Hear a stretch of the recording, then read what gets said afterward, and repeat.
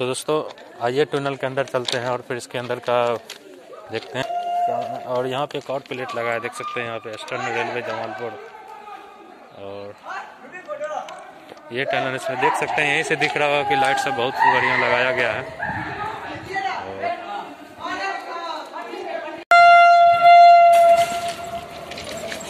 ये पुराना सुरंग में जाते हुए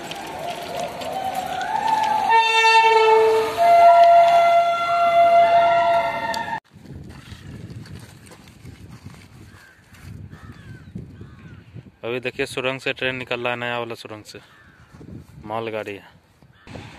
ये देख सकते हैं, पूरा परिचालन शुरू हो गया है इस नया वाला सुरंग के अंदर से।